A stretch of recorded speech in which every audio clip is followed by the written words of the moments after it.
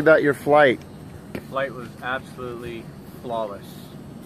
And uh, the most amazing part was when we were coming in into Orlando, normally at about 0.6 AOA, which is my ref speed, I start feeling I feel start feeling the angle of attack in my seat.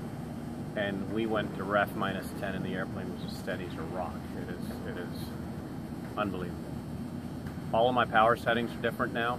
So normally I'd set 60% N1 and that'd be my go-to speed for flaps to approach and to fly the approach down. I found I had to do that around 52%, so we had about an 8% drop in, in numbers. Uh, we just have a much cleaner airplane. Cool. Well, this is the first flight of Harry's plane. Did two landings today, and we're excited to have Harry as a. a he's been Tamar activated, just like John sure Asma. have, let me tell you. What do they say? Once you go Tamarack, you never go Never back. go back.